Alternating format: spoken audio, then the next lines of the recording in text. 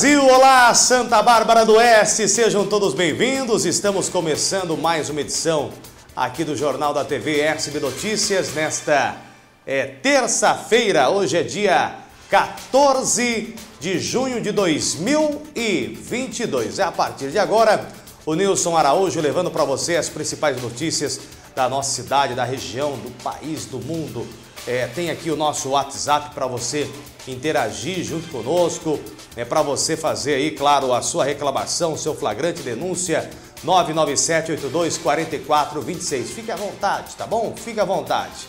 E vai compartilhando aqui o nosso programa de hoje. Compartilhe é, é para que nós possamos alcançar o maior número de pessoas possíveis. Tá aí, ó, clicou no sininho, a gente avisa todas as vezes que nós entrarmos no ar. Dois indivíduos. Dois indivíduos foram presos pela polícia. A polícia militar estava em patrulhamento pela Avenida Juscelino Kubitschek de Oliveira e dois indivíduos é, num veículo de passeio foram abordados. Né? É, foi feita ali uma busca é, neste veículo abordado e no porta-malas foi encontrado um cabeçote, não é isso? De um carro. Aí os PMs é, indagaram né, esses dois sujeitos, onde, é, olha, onde vocês encontraram isso? Não, então, olha, é assim, assado, é, e os caras acabaram entregando, entregando que é, essa peça teria sido é, retirada deste carro que você está vendo aí nas imagens. Né, nas imagens. Então, é, então é, é, veja aí, a, a, situação do carro que estaria abandonado ali é, no aterro sanitário, né? A abordagem ocorreu ali na, na, na Juscelino Kubitschek, é, aqui no Distrito Industrial, mas é, o carro estaria ali na, na no, no, próximo ao aterro, parcialmente carbonizado em meio de um canavial, né? E posteriormente essa peça seria vendida aí para, é, é para né, um, um, estabelecimento de, de, sucatas, né? certamente seria.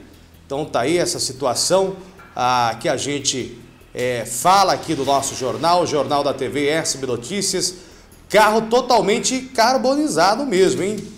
É, então, olha aí, agora um permaneceu preso, o outro era menor de idade, Agora a Polícia Civil vai investigar aí é, se tem outras pessoas envolvidas neste crime, neste delito. Porque é crime, né? Receptação, é, é, esses tipos, certamente esse veículo é um veículo furtado, roubado.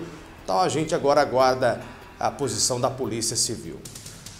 Aliás, a Polícia Militar Rodoviária, olha só, multou 242 motoristas por embriaguez ao volante. Olha aí, três dias de festas, três dias de festa do peão lá em Americana.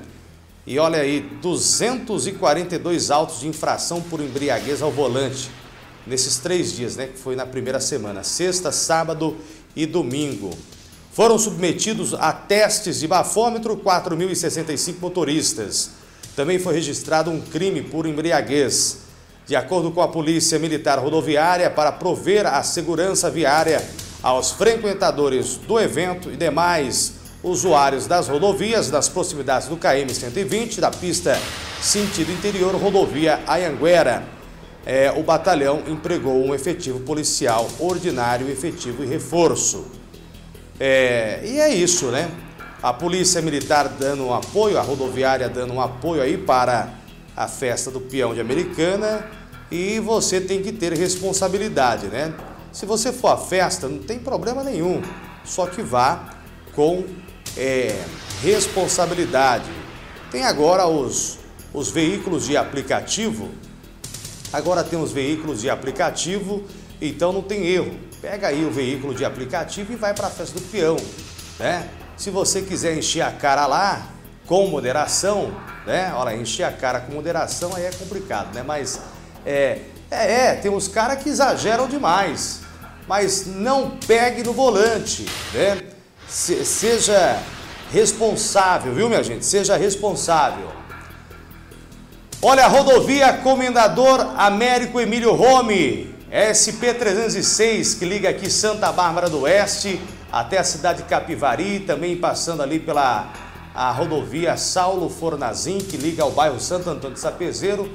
Tem lá obras que estão sendo é, feitas através do governo do estado de São Paulo, né? Equipes do Departamento de Estradas de Rodagens, do DR, é, da rodo... estão lá na rodovia trabalhando, então muita atenção ali, principalmente próximo ao bairro Conjunto Romano, acesso ali, já a alça de acesso para Piracicaba. É, cuidado, hein? Cuidado, porque o pessoal está trabalhando, né? Olha aí, ó. É, é a estrada que liga Santa Bárbara a Capivari. A obra faz parte do programa Estrada Asfaltada, que levará melhorias para as rodovias de todo o estado. E o Departamento de Estradas e Rodagens informou que o investimento é de 15 milhões e 200 mil e o programa do governo do estado irá modernizar e recuperar aí mais de 20, é, 20 mil quilômetros né, de vias que foram contratados de serviços de conservação especial e reabilitação da sinalização horizontal das vias. Os investimentos irão trazer mais conforto e segurança aos usuários aqui da cidade de Santa Bárbara do Oeste. Tá ficando bom, tá ficando bom. Não é de se. É, quando é, o serviço é bem feito, não tem erro, né? Tá ficando bom. É, essa alça de acesso aí que vai para Capivari precisava muito de melhorias. A malha asfáltica, muito buraco, muito né, declínio, é, podendo causar aí acidentes. Inclusive já teve acidentes com é, motociclistas nessa reunião ali próximo a Ali tem o Pinheiro, né? Ali tem um, um garapeiro ali também. Ali o que aconteceu de acidente? Já morreu gente ali, viu? Já morreu. Então tá aí melhorias nas rodovias aqui da nossa cidade, da nossa região, programa do Estado de São Paulo. Parabéns, é isso aí. Quando tem que parabenizar, uma obrigação do Estado também manter aí a pavimentação em ótima conservação. Tá falado, meu povo? Então tá falado, né? Obrigado pelo carinho. Então tá aí as principais informações por hoje é só. Hoje rapidinho. Obrigado pela sua audiência. Compartilhe aqui o nosso jornal de hoje. Compartilhe aqui as principais notícias de Santa Bárbara do Oeste. Se inscrevendo também aqui no canal da TV SP Notícias. Tô indo lá pro rádio agora, às 11 horas, programa Espaço Aberto aqui com Nilson Araújo, dando voz ao nosso povo, dando voz à nossa gente. Hoje tem sessão na Câmara de Vereadores de Santa Bárbara do Oeste. Mexeu com você? Mexeu comigo? Tchau, Laércio. Tá, meu povo? Até amanhã.